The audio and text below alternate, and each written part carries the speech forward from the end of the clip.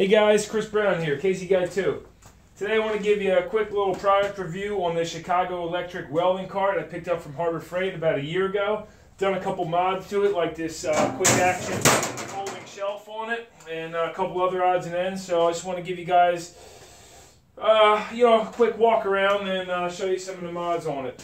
Anyway, I've owned it for about two years, and I will say I am pleased uh, with the quality of it. It's held up very well. I don't think I'd buy a Harbor Freight welder, uh, even though I've heard okay things about them, but their cart, uh, they're not so bad. So, uh, probably the best feature of this thing is the, the folding shelf on the side. Uh, this is actually a lid uh, to my tool cart that I have in my garage, and I didn't need that anymore, so uh, I already had the hinge on and everything. I just welded that on there, and and uh, so basically, you just take this bottom flap here, flip up, hooks up here. Uh, as far as the, the hinge on the bottom here, uh, went to Home Depot and used one of their uh, cheapo, you know, like door, storm door hinges, I guess it was, or something like that. Whatever, I don't remember. I did that like probably a year and a half ago now. Um, I also relocated the handle back a little further and uh, welded that on too, so that don't rock at all. Got a little little clamp on vise here, made in West Germany. It's a quality little piece. But uh, as far as the way I keep it here, um, I always keep my jacket on because I don't want dust uh, piling up on my welding helmet or on the gauges or the welders themselves. So uh, we'll pop that off here. And uh, as you can see here, I'll do a quick little spin around tour over.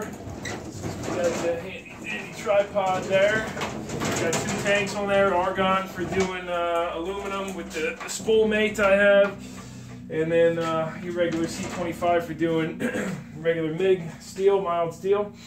Um, anyway, where else can I go here with this? Uh, so this is the, the Miller 211 I got on here. Love this machine. It's such a ph phenomenal machine. And then I just doubled it up on top with, uh, with the, the, new, uh, this is the Spectrum 375 X-TREME Plasma Cutter. Love this thing too. It's great. Um, got your, uh, you know, when you get this from Harbor Freight, it comes with these two hooks here. So they're easy, just bolt those on. Uh, I got a 50 foot, uh, 8, 8 2 cable there, and then you know, you put a splitter on the end so you can run both the, instead of plugging one or the other in, going back and forth, you got both machines plugged in at the same time.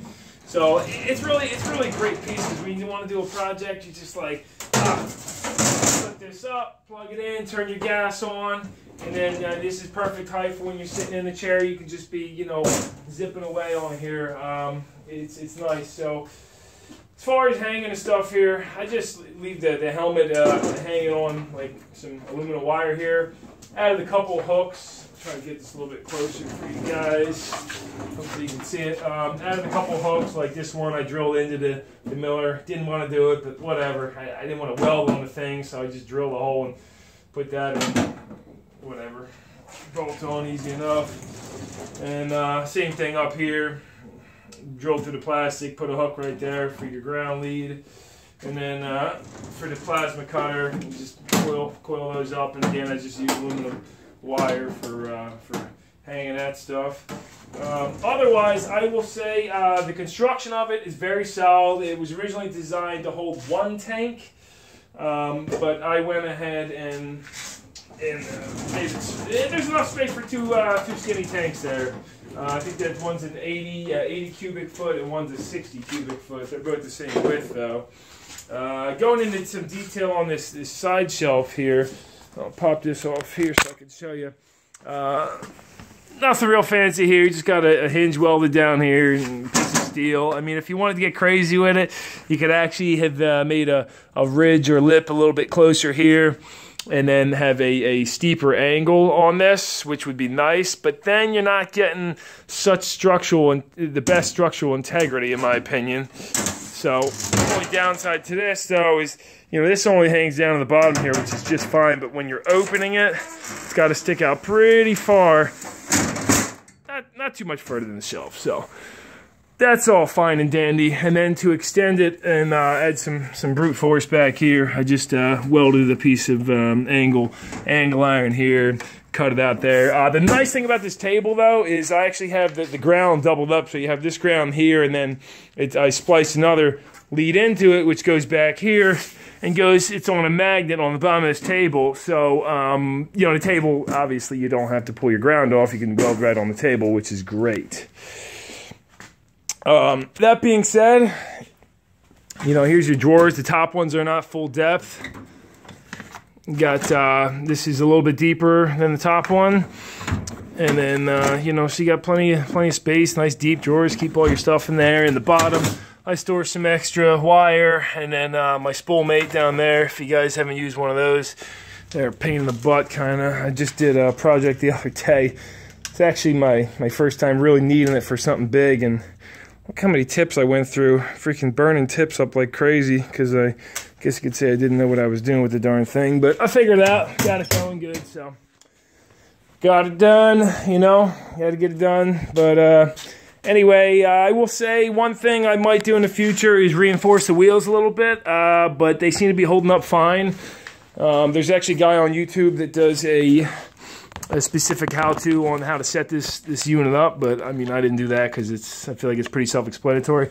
I'll show you this though. I mean I'm 180 pounds, and I can this you would think this thing's offset balance with this big long shelf coming off, but I can actually stand on this thing. And let's hope it doesn't fall over on me now. Yeah, I'm 180 pounds and I can stand on it. Of course, if I go to the edge, yeah, it's gonna maybe fall over, but whatever the case, I mean, this, this, little this little thing can hold some hold some stuff. So, you know, I don't have one but two machines on it, not one but two tanks on the back, and it's still holding up good. So, I mean, you know, if you're contemplating wasting your time building your own, I mean, that's awesome. If you can do that efficiently, then heck yeah, man, build your own.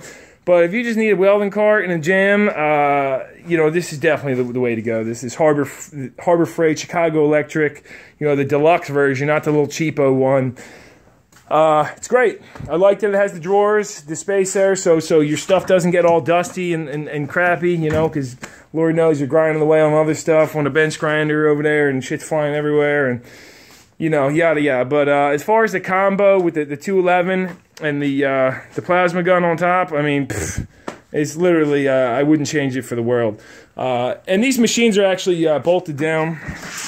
Um, if you go in here, it's just I don't have the light on my camera, but there's wing nuts that I have. I put some studs in the uh, table, and it's it's held down by wing nuts. So uh, you know, heaven forbid so, well, this is actually just tied on here. I just did a uh, trucker's hitch up here.